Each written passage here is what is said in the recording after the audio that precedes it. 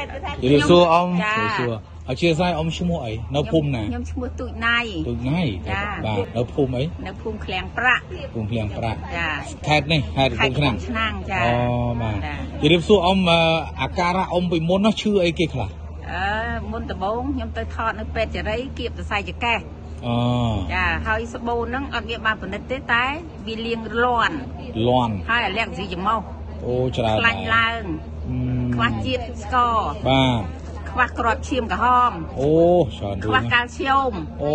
ដល់ចាច្រើនហើយណាដល់នេះបាទទៅអ៊ំអាហ្នឹងអ៊ំទៅជួសឈាមហើយបាទបានដឹងបាទដល់អញ្ចឹងទៅកូនប្អូននេះប្រាប់ថា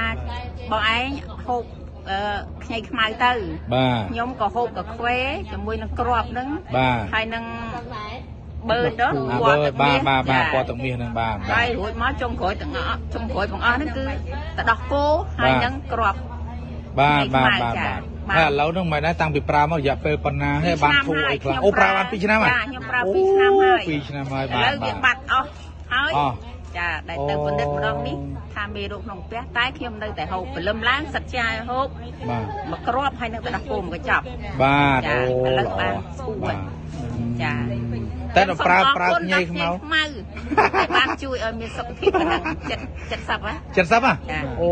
ខ្ញុំស្មានតែ58 60អីតានេះមែនតាចាមើលចិត្តហើយអូចិត្តហើយអរខ្ញុំគុណសូមច្រើនអរគុណដល់ខ្ញីអខ្មៅរគុណអរគុណចាអរដែលបានបាទជួយឲ្យពរខ្ញុំមានសុខភាពបានប៉ុណ្ណឹងអរគុណច្រើនជូនពរអមចាសុខភាពល្អហើយជាដាច់កុំឲ្យឈឺទៀតចា